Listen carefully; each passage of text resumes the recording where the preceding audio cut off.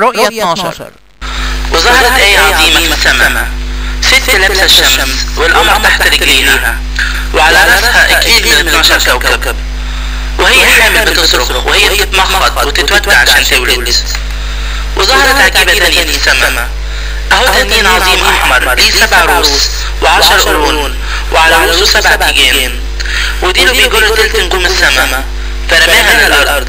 والتنين وقف قدام الست اللي راح تولد عشان يبلع ابنها لما تولد فولدت ابن ذكر راح يراعي كل الشعوب التانية بعصاية من حديد واتخطف ابنها لله والعرشه والست هربت للصحراء مكان مليها مكان متجهز من الله. عشان يقعدها هناك 1260 يوم. وحصلت حرب في السماء. ميخائيل وملائكته حاربوا التنين. وحارب التنين وملائكته. وما كملوش فما توجدش مكانهم بعد كده في السماء. فترمى التنين العظيم. الحية القديمة اللي اتسمى إبليس. والشيطان اللي بيتوه العالم كله. اترمى للأرض واترمت معاه ملائكته وسمعت صوت عظيم وهو بيقول في السماء. دلوقتي بقى ينقذ إلهنا وقدرته وملكه وسلطان مسيحه. لأنه اترمى اللي بيشتكي على إخواتنا. اللي كان بيشتكي عليهم قدام إلهنا نهار وليل. وهم غلبوه بدم الخروف. وبكلمة شهادتهم.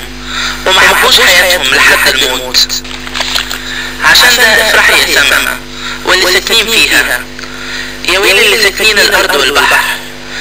لأن إبليس نزل لكم وفيه زعل عظيم. وهو عارف إن ليه وقت قليل.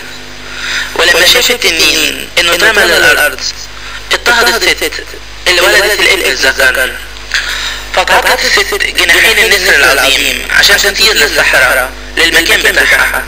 مكان متعال وقت ووقتين ونص وقت من وش الحية فرمت الحية من بقها ورثت مية زي نهر عشان تخليها تتشال بالنهر فساعدت الأرض الست.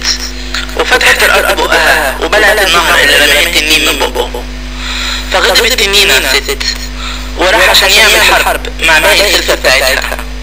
اللي بيحافظوا على وصايا الله. وعندهم شهادة يسوع المسيح.